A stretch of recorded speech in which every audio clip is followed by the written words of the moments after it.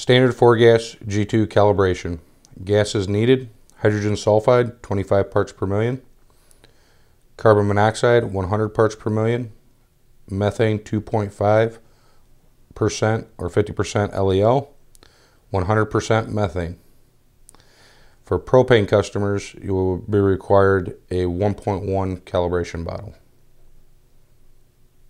The regulator for the 1.1 and the yellow cal adapter and also the regulator for the hydrogen sulfide, carbon monoxide, 2.5 methane mix, and 100% methane.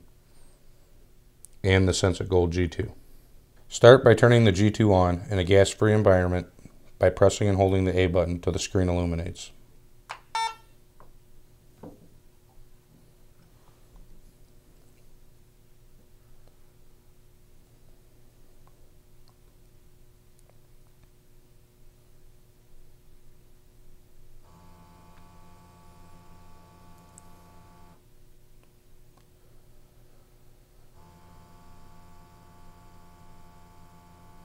As the instrument goes through its warm-up, it will display its date.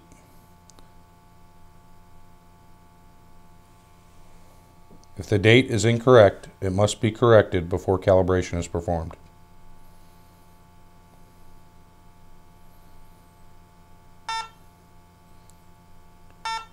If the instrument was displaying cal due, it would display for each individual gas.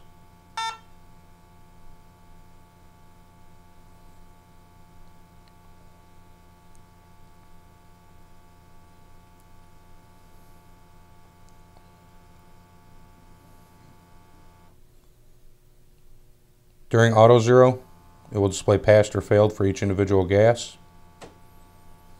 If any of those indications are failed, allow the instrument to warm up for an additional 5 minutes and press and hold the Save Zero button, C button, until the screen displays auto zero. Once the instrument is warmed up for 5 minutes, go ahead and check to make sure we can get a flow block indication by putting your finger over the inlet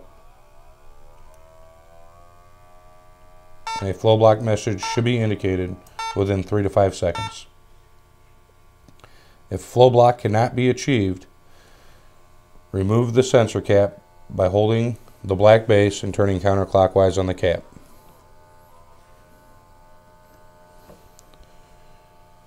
Remove the large O-ring from the sensor base and the small O-ring from the inlet luer and replace with new O-rings along with the new sensor cap.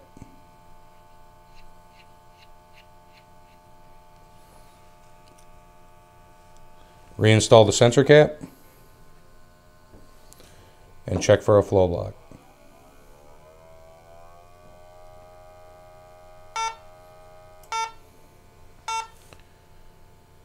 If the date was incorrect, we must reset the date before we perform calibration.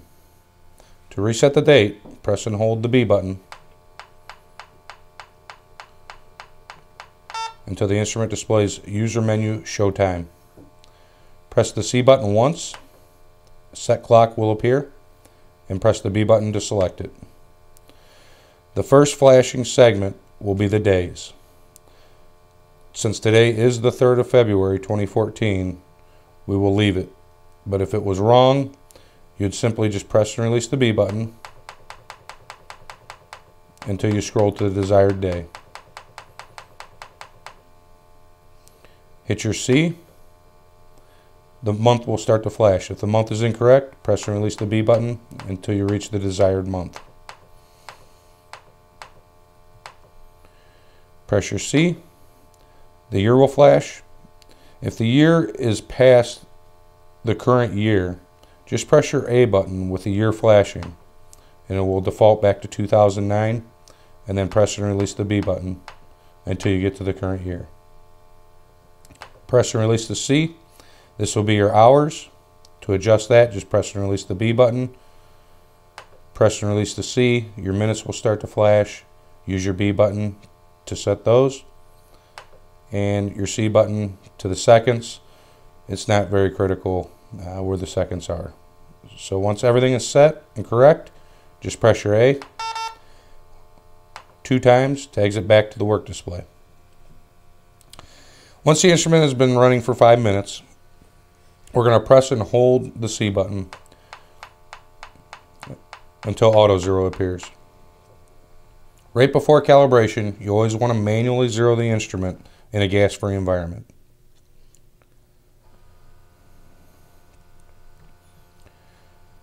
Everything indicated pass. There are no fail messages on the screen, so let's proceed with calibration.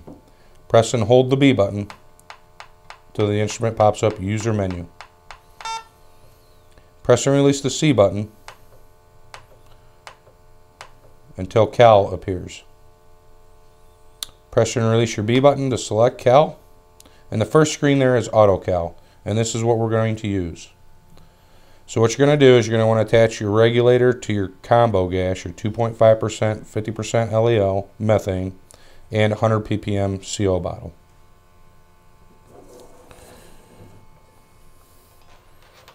Press your B button. And it will ask you to attach 2.5% by volume. And as you can see you have 30 seconds to do so. So we're going to turn the regulator on attach the hose to the inlet. Once the instrument detects that the gas is applied, it will start the calibration. Now note the numbers on the bottom are not actual gas readings, it's just raw output of the sensors.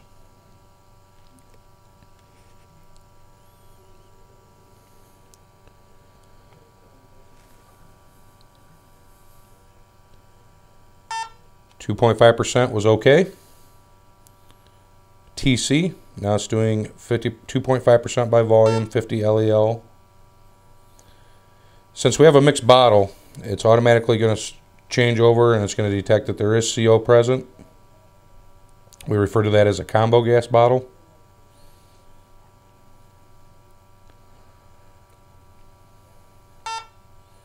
And now it's going to ask you to attach hydrogen sulfide, 25 parts per million. So we're just going to unscrew the regulator.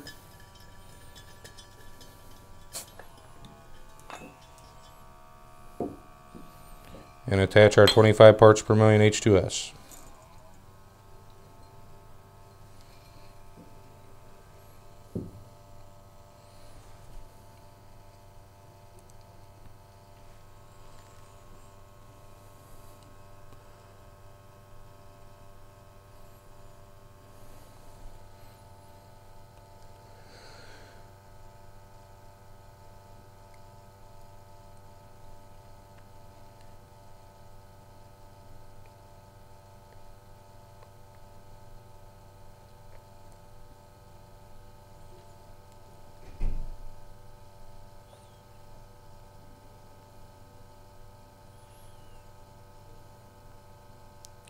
And once again, uh, while it's calibrating H2S, uh, if it does fail to calibrate the H2S, uh, it's very rare for H2S sensor to go bad. They do go bad, but it is rare.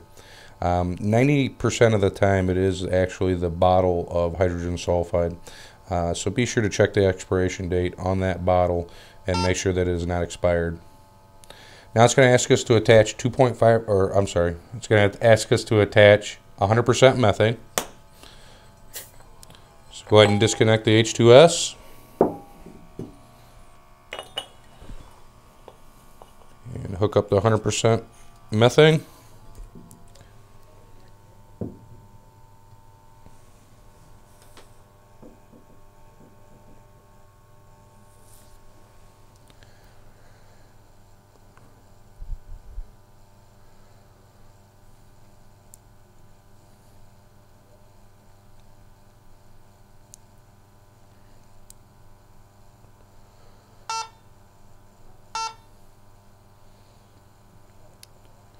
And calibration is complete. Disconnect the hose from the inlet, turn the regulator off, and press your A button until you get back to the work display. You can press your A button again to mute the alarms, allow the instrument to clear, and power the instrument down.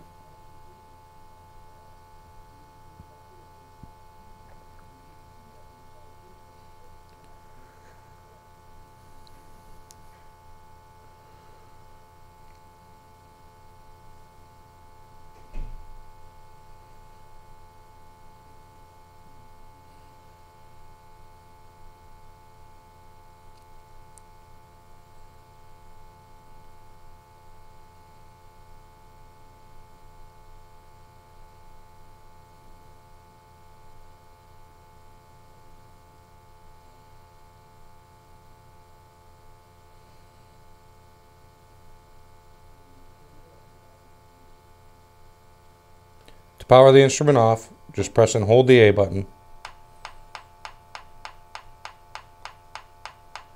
until power off is displayed and release the button.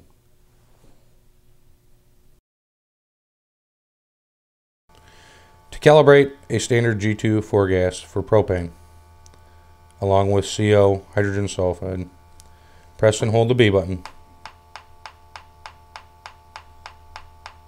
until user menu appears. Press and release the C button until it displays cal. Press and release your B button.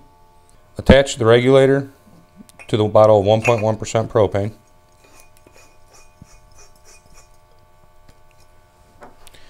And attach the cal adapter to the regulator. Once the cal adapter is attached, the gas will start to flow. Press and release the B button and it will ask you to attach 1.1% by volume propane.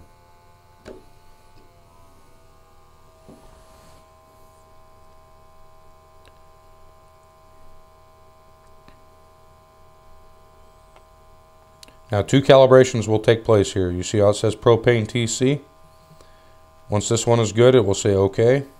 And then it will move on to propane 1.1% by volume, which is the LEL sensor.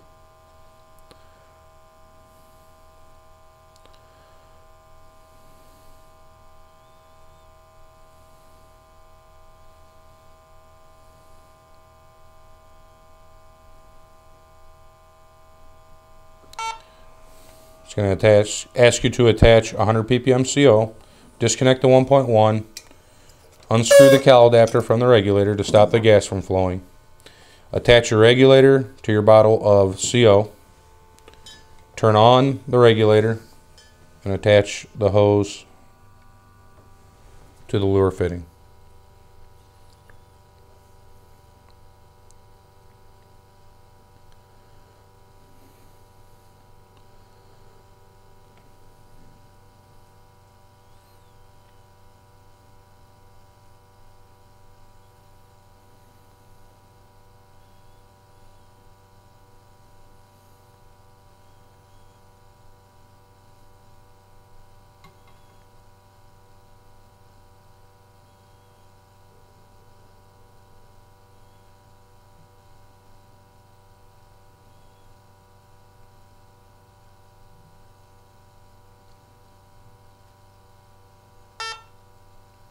It's going to ask you to attach your H2S.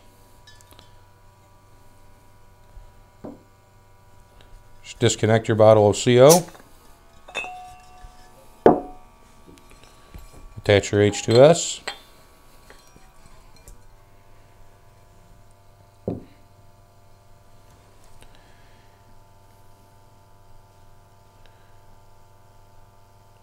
if you get a bad cal on the H2S, uh, you always want to check and make sure that the expiration date on the bottle, that the bottle is still good. Uh, if the bottle is expired, uh, there's a good chance that, that there is not enough hydrogen sulfide in there to calibrate to 25 parts per million H2S. Uh, it's very rare for an H2S sensor to go bad. They do go bad, but it's very rare.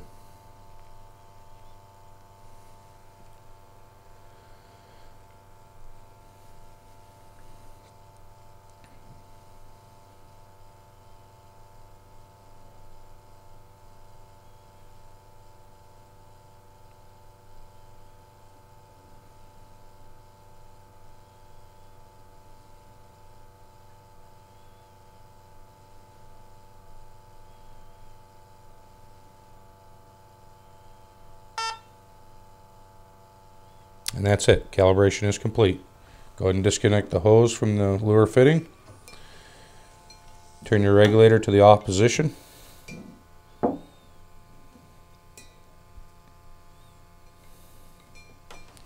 Press your A button twice. And allow the instrument to clear out. Just press the A button to mute the alarms.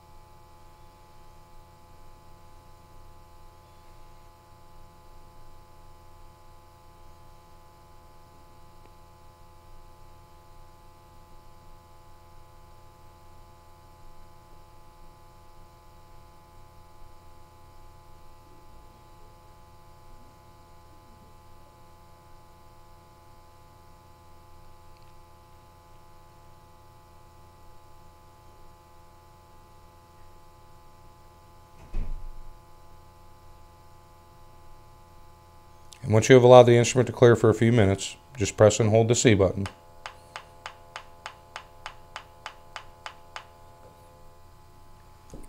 Until auto zero appears.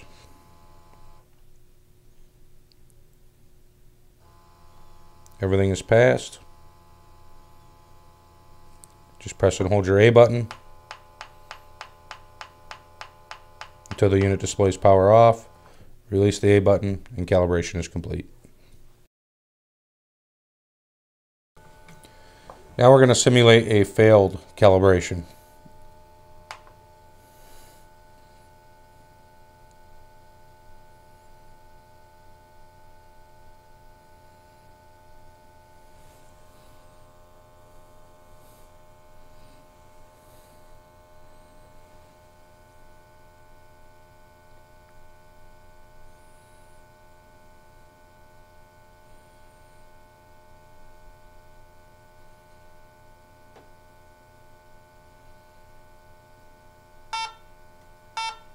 The instrument will stop and beep and display the failed message until a button is pressed.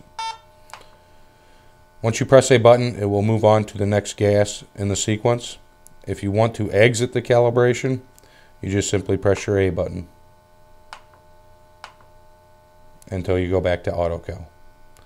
Any instrument that fails any part of the calibration should be taken out of service and contact Sensit if you have any questions.